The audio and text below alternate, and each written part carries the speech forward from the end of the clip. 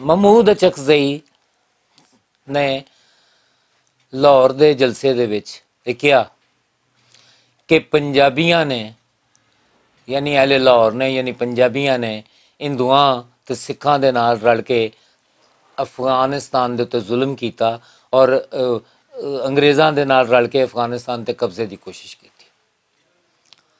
ਗੱਲ ਇਹ ਆ ਜਾਂਦੀ ਹੈ, ਅਜੀਬ ਗੱਲ ਹੈ ਕਿ ਹਿੰਦ, ਅਗਰ ਕੋਈ ਪੰਜਾਬ ਦੇ ਵਿੱਚ ਹਿੰਦੂ ਰਹਿੰਦਾ ਜਾਂ ਸਿੱਖ ਰਹਿੰਦਾ ਹੈ, ਜਾਂ ਮੁਸਲਮਾਨ ਰਹਿੰਦਾ ਉਹ ਪੰਜਾਬੀ ਹੈ ਪੰਜਾਬੀ ਕੋਈ ਅਲੱਗ ਅਹ, ਤੇ ਨਹੀਂ ਪੰਜਾਬੀ ਉਹ- ਉਹਨਾਂ ਨੇ ਸਿੱਖਾਂ ਹਿੰਦੂਆਂ ਨਾਲ ਰਲਣ ਦਾ ਕੀ ਮਤਲਬ ਹੋਇਆ ਸਾਰੇ ਪੰਜਾਬੀ ਸਨ ਇਹ ਤੇ ਗੱਲ ਵਜ਼ਾਹਤ ਹੋ ਗਈ ਹੁਣ ਦੂਸਰੀ ਗੱਲ ਜਿਹੜੀ ਆ ਜਾਂਦੀ ਹੈ ਕਿ ਉਹ ਕਹਿੰਦੇ ਨੇ ਜੀ ਇਹਨਾਂ ਨੇ ਅੰਗਰੇਜ਼ਾਂ ਦੇ ਨਾਲ ਰਲ ਕੇ ਜਿਹੜਾ ਸੀ ਉਹ ਕ- ਉੱਥੇ ਹਮਲਾ ਕੀਤਾ ਅੰਗਰੇਜ਼ਾਂ ਦੀ ਔਰ ਪੰਜਾਬੀਆਂ ਦੀ ਹਮੇਸ਼ਾ ਤੋਂ ਇੱਕੋ ਤਾ- ਰਿਸ਼ਤਾ ਰਿਹਾ ਵੇ, ਇੱਕੋ ਤਾਲਕ ਰਿਹਾ ਵੇ, ਦੁਸ਼ਮਣੀ ਦਾ, ਨਫ਼ਰਤ ਦਾ, ਮੁਹਾਸਮਤ ਦਾ, ਇਹ। ਕੋਈ ਉਹ ਦੂਸਰਾ ਤਾਲਕ ਨਹੀਂ ਰਿਹਾ। ਜਦੋਂ 1799 ਦੇ ਵਿੱਚ ਸਦੀਆਂ ਬਾਅਦ ਪਹਿਲੀ ਪੰਜਾਬੀ ਹਕੂਮਤ ਇੱਥੇ ਬਣੀ ਪੰਜਾਬ ਦੇ ਵਿੱਚ, ਤੇ ਕੀ ਹੋਇਆ, ਉਸ ਤੋਂ ਬਾਅਦ ਅੰਗਰੇਜ਼ਾਂ ਨੂੰ ਸਤਲੁਜ ਪਾਰ ਕਰਨ ਦੀ ਜੁਰਤ ਨਹੀਂ ਹੋਈ। ਔਰ ਉਹਨਾਂ ਨੇ ਦਬ ਕੇ ਮੁਆਇਦਾ ਕੀਤਾ ਜਿਹੜਾ ਸੀ ਲਾਹੌਰ ਦਰਬਾਰ ਦੇ ਨਾਲ। ਇਸ ਲਈ ਕਿ ਇਹ ਵੱਡੀ ਤਾਕਤ ਬਣ ਗਿਆ ਸੀ। ਔਰ ਉਹਨਾਂ ਨੂੰ ਹੋਇਆ ਕਿ ਅਗਰ ਇਹਦੇ ਨਾਲ ਜਿਹੜਾ ਵੇ ਦੁਸ਼ਮਣੀ ਅਸੀਂ ਰੱਖਾਂਗੇ, ਲੜਾਈ ਹੋਵੇ ਦੀ, ਤੇ ਕਿ ਉਹਨਾਂ ਨੇ ਸਾਡਾ ਬਹੁਤ ਜ਼ਿਆਦਾ ਨੁਕਸਾਨ ਹੋਵੇਗਾ ਅੰਗਰੇਜ਼ਾਂ ਨੇ। ਸੋ ਜਿਹੜਾ ਮੁਆਇਦਾ ਹੋਇਆ, ਉਹਦਾ ਉਹਨੂੰ ਦੋਸਤੀ ਦਾ ਮੁਆਇਦਾ ਕਿਹਾ ਜਾਂਦਾ, ਲੇਕਿਨ ਦੋਸਤੀ ਦਾ ਮੁਆਇਦਾ ਨਹੀਂ ਸੀ। ਇਹ ਨਾ ਜੰਗ ਵ- ਮੁਆਇਦਾ ਸੀ, ਯਾਨੀ ਨੋ ਵਾਰ ਪੈਕਟ ਸੀ। ਇਹ ਮੁਆਇਦਾ ਹੋਇਆ ਉਸ ਤੋਂ ਬਾਅਦ 1846 ਦੇ ਵਿੱਚ ਤੱਕ ਜਿਹੜਾ ਸੀ ਇਹ ਚੱਲਦਾ ਰਿਹਾ। 1846 ਵਿੱਚ ਉਹਨਾਂ ਨੇ ਕਬਜ਼ਾ ਕਰਨ ਦੀ ਕੋਸ਼ਿਸ਼ ਕੀਤੀ। ਕਬਜ਼ਾ ਕਰਨ ਜਦੋਂ ਲਗੇ ਨੇ ਆ- ਆਰਾਮ ਨਾਲ ਨਹੀਂ ਕਬਜ਼ਾ ਹੋ ਸਕਿਆ। ਇੱਥੇ ਅਹ, ਜਿਹੜਾ ਸੀ ਲ- ਲੜੇ ਪੰਜਾਬੀ। ਔਰ ਪੂਰੇ ਬਰਰੇ ਸਗੀਰ ਦੇ ਵਿੱਚ ਬਾਕੀ ਬਰਰੇ ਸਗੀਰ ਦੇ ਵਿੱਚ ਇਹ ਹੋਇਆ ਕਿ ਉੱਥੇ ਉਹਨਾਂ ਨੇ ਸਾਜ਼ਿਸ਼ਾਂ ਨਾਲ ਕਬਜ਼ਾ ਕੀਤਾ ਜਾਂ ਕਿਤੇ ਲੜਾਈ ਵੀ ਹੋਈ ਹੈ ਤੇ ਇੱਕ ਦਿਨ ਦੀ ਜਾਂ ਅੱਧੇ ਦਿਨ ਦੀ ਹੋਈ। ਇੱਥੇ ਉਹਨਾਂ ਨੂੰ 12 ਲੜਾਈਆਂ ਅਹ, 12 ਤੋਂ ਵੱਧ ਲੜਾਈਆਂ ਜਿਹੜੀਆਂ ਨੇ ਲੜਨੀਆਂ ਪਈਆਂ। 10 ਵੱਡੀਆਂ ਲੜਾਈਆਂ ਸਨ ਉਹਨਾਂ ਦੇ ਵਿੱਚ। ਮੁਦਕੀ, ਫਿਰੋਜ਼ ਸ਼ਹਿਰ, ਬੱਦੋਵਾਲ, ਅਲੀਵਾਲ, ਸੁਬਰਾਉ, ਮੁਲਤਾਨ, ਸਾਦੁਲਾਪੁਰ ਰਸੂਲ ਨਗਰ ਚੇਲਿਆਂਵਾਲਾ ਤੇ ਗੁਜਰਾਤ। ਇਹ 10 ਵੱਡੀਆਂ ਲੜਾਈਆਂ ਨੇ। ਫਿਰ ਜਲੰਧਰ ਤੇ ਅਟਕਦੀਆਂ ਛੋਟੀਆਂ ਲੜਾਈਆਂ ਵੀ ਨੇ ਕਈ ਜਿਹੜਾ ਵੇ। 12 ਤੋਂ ਵੱਧ ਲੜਾਈਆਂ ਇਹਨਾਂ ਨੇ ਲੜਨੀਆਂ ਪਈਆਂ ਅੰਗਰੇਜ਼ਾਂ ਨੂੰ। ਸੈਯਦ ਸਿਫਤੇ ਹਸਨ ਜਿਹੜਾ ਕਿ ਪੰਜਾਬੀ ਨਹੀਂ, ਉਹਨੇ ਲਿਖਿਆ ਹੈ ਕਿ ਚੇਲਿਆਂ ਵਾਲੇ ਦੀ ਲੜਾਈ ਜਿਹੜੀ ਹੈ ਬਰੇ ਸਗੀਰ ਦੀ ਸਭ ਤੋਂ ਖੌਫਨਾਕ ਲੜਾਈ ਸੀ। ਔਰ ਉਥੇ ਸੈਕੜੇ ਜਿਹੜੇ ਸਨ ਅੰਗਰੇਜ਼ ਅਫਸਰ ਜਿਹੜੇ ਸਨ ਉਹ ਮਾਰੇ ਗਏ। ਜਿਨ੍ਹਾਂ ਦੇ ਉੱਥੇ ਮੋਨੂਮੈਂਟ ਬਣਿਆ ਹੈ ਹਵੇਂ ਜਿੱਥੇ ਉਹਨਾਂ ਦੀਆਂ ਕਬਰਾਂ ਵੀ ਨੇ, ਮੌਜੂਦ ਨੇ। ਸੋ ਇਹ ਉਹਨਾਂ ਦਾ ਅੰਗਰੇਜ਼ਾਂ ਦਾ ਤੇ ਜਦੋਂ ਕਬਜ਼ਾ ਹੋਣ ਲੱਗਾ ਤੇ ਅੰਗਰੇਜ਼ਾਂ ਦੇ ਨਾਲ ਪੰਜਾਬੀ ਇੰਜ ਉਹਨਾਂ ਨੇ ਸਲੂਕ ਕੀਤਾ ਇੰਜ ਮੁਜ਼ਾਹਮਤ ਕੀਤੀ ਉਸ ਤੋਂ ਬਾਅਦ ਕਬਜ਼ਾ ਹੋ ਗਿਆ ਕਬਜ਼ਾ ਹੋਣ ਤੋਂ ਬਾਅਦ 98 ਸਾਲ ਗੁਲਾਮੀ ਅਹ, ਦਾ ਦੌਰ ਰਿਹਾ ਲੇਕਿਨ ਉਹ ਅੰਗਰੇਜ਼ਾਂ ਲਈ ਕੋਈ ਆਸਾਨ ਨਹੀਂ ਸੀ ਇਸ ਲਈ ਕਿ ਇੱਕ ਤੋਂ ਬਾਅਦ ਇੱਕ ਇੱਕ ਤੋਂ ਬਾਅਦ ਦੂਸਰੀ ਦੂਸਰੀ ਤੋਂ ਬਾਅਦ ਤੀਸਰੀ ਤਹਿਰੀਕ ਇੱਥੇ ਬਾਗੀਆਨਾ ਚੱਲਦੀ ਰਹੀ 1857 ਦੀ ਜੰਗੇ ਆਜ਼ਾਦੀ ਉੱਥੇ ਅਹ, ਦਿੱਲੀ ਦੇ ਵਿੱਚ ਸਤੰਬਰ 1857 ਚ ਮੁੱਕ ਗਈ ਸੀ ਇੱਥੇ ਅਪ੍ਰੈਲ 1858 ਤੱਕ। ਪਹਿਲਾਂ ਆਮਦ ਖਾਨ ਖਰਲ ਦੀ ਸਰਗਰਗੀ ਵਿੱਚ ਫਿਰ ਉਹ ਸ਼ਹੀਦ ਹੋ ਗਏ, ਫਿਰ ਉਸ ਤੋਂ ਬਾਅਦ ਉਹਨਾਂ ਦੇ ਸਾਥੀਆਂ ਦੀ ਜਿਹੜੀ ਸਰਗਰਗੀ ਸਰਗਰਦਗੀ ਵਿੱਚ ਚੱਲਦੀ ਰਹੀ, ਅਪ੍ਰੈਲ 1858 ਤੱਕ। ਉਸ ਤੋਂ ਬਾਅਦ ਵੀ 20 ਸਾਲ, ਅਗਲੇ 20 ਸਾਲ ਜਿਹੜੇ ਨੇ, ਅੰਗਰੇਜ਼ਾਂ ਦੀ ਸਪਲਾਈ ਲਾਈਨ ਜਿਹੜੀ ਹੈ ਉਹਨੂੰ ਡਿਸਟਰਬ ਕਰਦੇ ਰਹੇ ਉਹਨਾਂ ਦੇ ਸਾਥੀ ਜਿਹੜੇ ਨੇ, ਪੰਜਾਬੀ।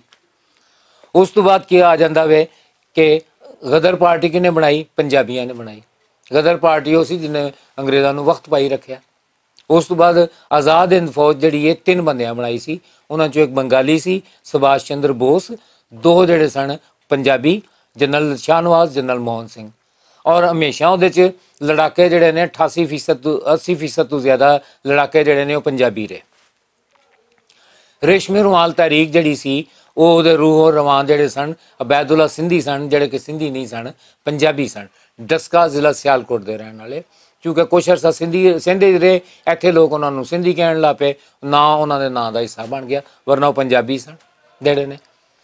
ਕੀਰਤੀ ਕਿਸਾਨ ਪਾਰਟੀ ਨੌਜਵਾਨ ਸਭਾ ਜਿਹੜਾ ਵੇ ਮ, ਖਾਕਸਾਰ ਤਹਿਰੀਕ ਇਹ ਸਾਰੀਆਂ ਪਾਰਟੀਆਂ ਕਿੱਥੇ ਬਣੀਆਂ? ਪੰਜਾਬ ਦੇ ਵਿੱਚ ਬਣੀਆਂ। ਰੋਲਰ ਟੈਕ ਦੇ ਖਿਲਾਫ ਤਹਿਰੀਕ ਸ਼ੁਰੂ ਹੋਈ 1919 ਦੇ ਵਿੱਚ। 10 ਅਪ੍ਰੈਲ ਤੋਂ ਲੈ ਕੇ 13 ਅਪ੍ਰੈਲ ਤੱਕ ਤਿੰਨ ਦਿਨ ਜਿਹੜਾ ਲਾਹੌਰ ਦੇ ਵਿੱਚ ਅੰਗਰੇਜ਼ ਸਰਕਾਰ ਦੀ ਰਿਟ ਨਾ ਰਹੀ। ਅਖੀਰ ਉਹਨਾਂ ਨੇ ਮਾਰਸ਼ਲ ਲਾਇਆ ਔਰ ਪੂਰੇ ਬਰਰੇ ਸਗੀਰ ਦੇ ਵਿੱਚ ਤਾਜੇ ਬਰਤਾਨੀਆ ਵੱਲੋਂ ਇਹ ਪਹਿਲਾ ਮਾਰਸ਼ਲ ਸੀ ਜਿਹੜਾ ਕਿ ਲਗਾਇਆ ਗਿਆ। ਗੁਜਰਾਂਵਾਲਾ, ਇਮਨਾਬਾਦ ਤੇ ਲਾਇਲਪੁਰ, ਇਹਨਾਂ ਦੇ ਉੱਤੇ ਰਾਇਲ 에ਅਰ ਫੋਰਸ ਦੇ ਤਿਆਰਿਆਂ ਨੇ ਬੰਬਾਰੀ ਕੀਤੀ, ਜਿਹੜੀ ਸੀ। ਕਿਸ ਕਾਸ਼ਕਾਰਾਂ ਦੀ ਤਹਿਰੀਕ ਹੈ, ਅਹ ਜ਼ਿਲ੍ਹਿਆਂਵਾਲਾ ਬਾਗ ਦਾ ਵਾਕਿਆ ਕਿੱਥੇ ਹੋਇਆ? ਪੰਜਾਬ ਦੇ ਵਿੱਚ ਹੋਇਆ। ਭਗਤ ਸਿੰਘ ਕਿੱਥੇ ਹੋਇਆ? ਪੰਜਾਬ ਵਿੱਚ ਹੋਇਆ। ਉਦਮ ਸਿੰਘ ਕਿੱਥੇ? ਪੰਜਾਬ ਦੇ ਵਿੱਚ ਹੋਇਆ। ਕ- ਕਰਨਲ ehsan ਕਾਦਰ ਪੰਜਾਬ ਦੇ ਵਿੱਚ ਹੋਇਆ। ਜਿਹੜੇ ਕਾਸ਼ਕਰਾਂ ਦੀ ਤਹਿਰੀਕ ਪਗੜੀ ਸੰਭਾਲ ਜੱਟਾ ਅੰਗਰੇਜ਼ਾਂ ਦੇ ਖਿਲਾਫ ਜਿਹੜੀ ਹੈ ਉਹ ਪੰਜਾਬ ਦੇ ਵਿੱਚ ਚੱਲੀ, ਜਿਹੜੀ ਹੈ ਇੱਕ ਤੋਂ ਬਾਅਦ ਗਿਣਨ ਲੱਗੋ ਤਾਂ ਕਿ ਤੁਸੀਂ ਇੱਥੇ ਸਾਰਾ ਟਾਈਮ ਮੁੱਕ ਜਾਏਗਾ ਜਿਹੜਾ ਵੇ, ਇੰਨੀਆਂ ਤਹਿਰੀਕਾਂ ਚੱਲਦੀਆਂ ਰਹੀਆਂ। ਇਹ ਬਗਾਵਤ ਨੂੰ ਰੋਕਣ ਵਾਸਤੇ ਅੰਗਰੇਜ਼ਾਂ ਨੇ ਕੀ ਕੀਤਾ? 12 ਡਿਵੀਜ਼ਨ ਫੌਜ ਸੀ। ਪੂਰੇ ਬਰੇ ਸਗੀਰ ਦੇ ਵਿੱਚ। ਚਾਰ ਡਿਵੀਜ਼ਨ ਸਿਰਫ ਪੰਜਾਬ ਦੇ ਵਿੱਚ ਉਹਨਾਂ ਨੇ ਰੱਖੇ। ਉਸ ਤੋਂ ਬਾਅਦ ਕੀ ਹੈ ਆਬਾਦੀ ਦੇ ਤਨਾਸਬ ਨਾਲ ਪੁਲਿਸ ਜਿਹੜੀ ਹੈ ਪੰਜਾਬ ਵਿੱਚ ਸਭ ਤੋਂ ਜ਼ਿਆਦਾ ਰੱਖੀ ਗਈ। ਕਿਉਂਕਿ ਇੱਥੇ ਗੜਬੜ ਸੀ। ਸਭ ਪੁਲਿਸ ਨੂੰ ਇਖਤਿਆਰਾਂ ਜ਼ਿਆਦਾ ਦੇ ਦਿੱਤੇ ਗਏ। ਹੱਦ ਤੋਂ ਜ਼ਿਆਦਾ ਜ਼ਾਲਮ ਹੁੰਦੀ ਗਈ। ਅੱਜ ਵੀ ਜ਼ਾਲਮ ਹੈ ਇਸੇ ਵਾਸਤੇ ਜਿਹੜੀ ਹੈ ਅੱਜ ਵੀ ਜ਼ਿਆਦਾ ਸਖਤੀ ਕਰਦੀ ਹੈ ਦੂਸਰੇ ਸੂਬਿਆਂ ਦੇ ਮੁਕਾਬਲੇ ਦੇ ਵਿੱਚ ਜਿਹੜਾ ਵੇ। ਕਿਉਂਕਿ ਉਹਨਾਂ ਨੇ ਬਗਾਵਤ ਦੇ ਉੱਤੇ ਜਿਹੜਾ ਸੀ ਕਾਬੂ ਰੱਖਣਾ ਸੀ। ਕਿਸੇ ਤਰ੍ਹਾਂ ਵੀ ਜਿਹੜਾ ਵੇ ਕਿ ਉਹਨਾਂ ਨੇ ਤੁਸੀਂ ਜੀ ਬਗਾਵਤ ਨੂੰ ਰੋਕਣਾ ਵੇ ਫਿਰ ਪੰਜਾਬ ਦੇ ਅਹ, ਫੌਜ ਦੇ ਵਿੱਚ ਪੰਜਾਬੀਆਂ ਦੀ ਅਕਸਰੀਅਤ ਲੇਕਿਨ ਅਹ, ਇੱਥੇ ਕੀ ਹੋਇਆ ਅਸਲੇ ਦਾ ਕੋਈ ਡਿਪੂ ਨਹੀਂ ਬਣਾਇਆ ਗਿਆ। ਅਸਲੇ ਦਾ ਕੋਈ ਜਿਹੜਾ ਇਹ ਕਾਰਖਾਨਾ ਨਹੀਂ ਲਾਇਆ ਗਿਆ। ਕਿਉਂ? ਕਿਉਂਕਿ ਜੇ- ਉਹਨਾਂ ਨੂੰ ਡਰ ਸੀ ਕਿ ਜਿਸ ਵੇਲੇ ਬਗਾਵਤ ਸ਼ੁਰੂ ਹੋ ਗਈ ਇਹਨਾਂ ਨੂੰ ਅਸਲਾ ਇੱਥੇ ਹੀ ਮਿਲ ਜਾਣਾ। ਲਿਹਾਜ਼ਾ ਅਗਰ ਇਸ ਖਤਰੇ ਤੋਂ ਬਚਣ ਲਈ ਹੋਵੇ ਕਿ ਇੱਥੇ ਅਸਲਾ ਨਾ ਰੱਖਿਆ ਜਾਏ ਨਾ ਅਸਲਾ ਰੱਖਿਆ ਜਾਏ ਨਾ ਅਸਲੇ ਦਾ ਕੋਈ ਜਿਹੜਾ ਵੇ ਕਾਰਖਾਨਾ ਲਾਇਆ ਜਾਏ ਸੋ ਦ- ਪੰਜਾਬੀਆਂ ਦੇ ਔਰ ਅੰਗਰੇਜ਼ਾਂ ਦੇ ਤੇ ਤਾਲੁਕਾਤ ਇਸ ਤਰ੍ਹਾਂ ਦੇ ਰਹੇ ਜਿੱਥੋਂ ਤੱਕ ਤਾਲਕ ਹੈ ਕਿ ਅਫਗਾਨਿਸਤਾਨ ਦੇ ਉੱਤੇ ਉਹਨਾਂ ਨੇ ਅਮ, ਕ- ਅ, ਉਹ ਕਹਿੰਦੇ ਨੇ ਜੀ ਰਲ ਕੇ ਅੰਗਰੇਜ਼ਾਂ ਦੇ ਨਾਲ ਕ- ਕਬਜ਼ਾ ਕਰਨ ਦੀ ਕੋਸ਼ਿਸ਼ ਕੀਤੀ ਗੱਲ ਹੋਰ ਹੈ ਸ਼ਾਹ ਸ਼ੁਜਾ ਅੰਗਰ- ਅ, ਅਫਗਾਨਿਸਤਾਨ ਦਾ ਬਾਦਸ਼ਾਹ ਸੀ ਉਹਦਾ ਤਾ- ਤਖਤੋ ਤਾਜ ਖੋਇਆ ਗਿਆ ਉਹਨੇ ਇੱਥੇ ਆ ਕੇ ਮ, ਲ- ਮਹਾਰਾਜਾ ਰਣਜੀਤ ਸਿੰਘ ਕੋਲੋਂ ਮਦਦ ਮੰਗੀ, ਉਧਰੋਂ ਅੰਗਰੇਜ਼ਾਂ ਕੋਲੋਂ ਵੀ ਮੰਗੀ ਦੋਵੇਂ ਤਿਆਰ ਹੋ ਗਏ। ਲੇਕਿਨ ਮਹਾਰਾਜਾ ਨੇ ਫੌਜਾਂ ਪੰਜਾਬ ਤੋਂ ਨਹੀਂ ਗੁਜ਼ਰਨ ਦਿੱਤੀਆਂ। ਲਿਹਾਜ਼ਾ ਅੰਗਰੇਜ਼ਾਂ ਨੂੰ ਸਿੰਧ ਔਰ ਫਿਰ ਬਲੋਚਿਸਤਾਨ ਦੇ ਰਾਹ ਉੱਥੇ ਜਾਣਾ ਪਿਆ। ਇਧਰੋਂ ਪੰਜਾਬੀ ਫੌਜਾਂ ਵੀ ਪਹੁੰਚੀਆਂ। ਉੱਥੇ ਜਾ ਕੇ ਲੜਾਈ ਹੋਈ 200 ਮੰਦਲ ਨਸ ਗਿਆ। ਜਿਹੜਾ ਸੀ ਜਿਹਨੇ ਤਖਤ ਖੋਇਆ ਹੋਇਆ ਸੀ, ਸ਼ਾਹ ਸ਼ੁਜਾ ਨੂੰ ਫੇਰ ਤਖਤ ਦੇ ਉੱਤੇ ਬਾਹ ਦਿੱਤਾ ਗਿਆ। ਤੋ ਕਿੱਸਾ ਤੇ ਇੰਨਾ ਸੀ, ਜਿਹੜਾ ਅਫਗਾਨਿਸਤਾਨ ਦੇ ਉੱਤੇ ਕਬਜ਼ਾ ਜਿਹੜਾ ਸੀ, ਹਮਲਾ ਸੀ, ਉਹ ਸ਼ਾਹ ਸ਼ੁਜਾ ਲਈ ਸੀ, ਜਿਹੜਾ ਕਿ ਅਫਗਾਨ ਬਾਦਸ਼ਾਹ ਸੀ, ਜਿਹਦਾ ਤਖਤ ਤਾਜ ਖੋਇਆ ਗਿਆ ਸੀ, ਉਹਨੂੰ ਤਖਤ ਤਾਜ ਵਾਪਸ ਦਵਾਇਆ ਗਿਆ। ਜਿੱਥੋਂ ਤੱਕ ਤਾਲਕ ਹੈ ਜੀ, ਕਿ ਪੰਜਾਬੀਆਂ ਨੇ ਅਫਗਾਨਾਂ ਤੇ ਜ਼ੁਲਮ ਕੀਤਾ, ਹਾਂ ਜੀ, ਜ਼ੁਲਮ ਕੀ ਕੀਤਾ?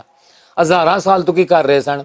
ਇਹ ਉਧਰ ਕੰਮ ਸ਼ਮ ਤੇ ਕਰਦੇ ਨਹੀਂ ਸਨ ਔਰ ਇਹਨਾਂ ਦਾ ਕਿਸੇ ਲੁੱਟਮਾਰ ਇਹਨਾਂ ਨੇ ਇੱਥੇ ਆਣਾ, ਜਿਹੜਾ ਇੱਥੇ ਮਿਹਨਤ ਦੇ ਨਾਲ ਸਾਰਾ ਪੰਜਾਬੀਆਂ ਨੇ ਜੋ ਕਮਾਇਆ ਹੁੰਦਾ ਸੀ, ਉਹਨਾਂ ਨੇ ਲੁ- ਆਉਣਾ ਆ ਕੇ ਉਹਨਾਂ ਨੇ ਲੁੱਟ ਕੇ ਲੈ ਜਾਣਾ।